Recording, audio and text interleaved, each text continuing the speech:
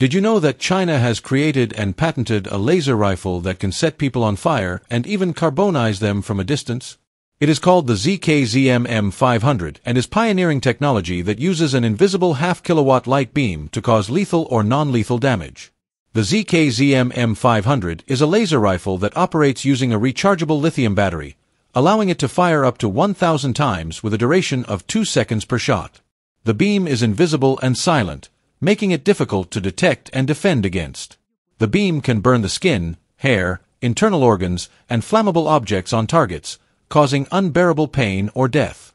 The ZKZM M500 is a laser rifle with several potential applications, such as riot control, counterterrorism, sabotage, and assassination.